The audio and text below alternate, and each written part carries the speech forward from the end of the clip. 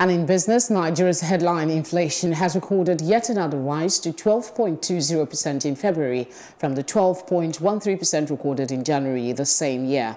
A report published by the National Bureau of Statistics NBS on Tuesday revealed that food inflation increased marginally year on year to 14.90% in January 2020 compared to the figures obtained at 14.85% in January 2019. Core inflation also rose to 9.43% in January 2020 compared to the 9.35% figures in January 2020.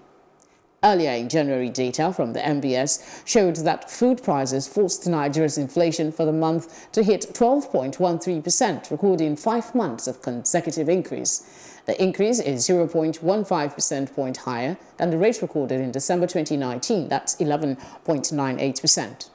On the sidelines of the just concluded forum on the impact of coronavirus on the Nigerian economy, Princess Elayo Okowa spoke on the impact of inflation on the manufacturing sector and importers and exporters in the country.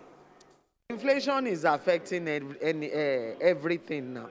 If, look at the problem on the at, uh, at Nigerian seaports.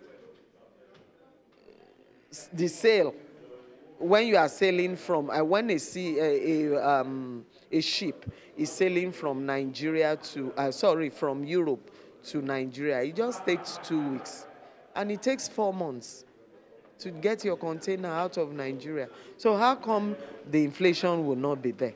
The trailer you are renting a trailer to pick up your container, you are paying almost about eight hundred thousand a, a 20 foot container from Europe to here is about thousand dollars or thousand two hundred dollars, which is about 500, uh, five to six hundred thousand, and you are just taking a trailer for one day, and it's charging you um, eight hundred thousand. So that's all all the inflation that we are getting.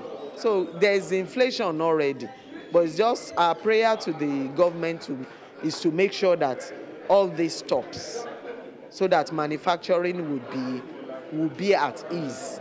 Because the manufacturing sector to be honest we are getting frustrated. Because the the um, you need to have the large hearts to be an industrialist. But if all this type of problems is is um, coming into manufacturing i mean where is Nigeria? And we are, we are saying um, manufacturing is the bedrock of every, every nation. So are we not killing our manufacturing sector?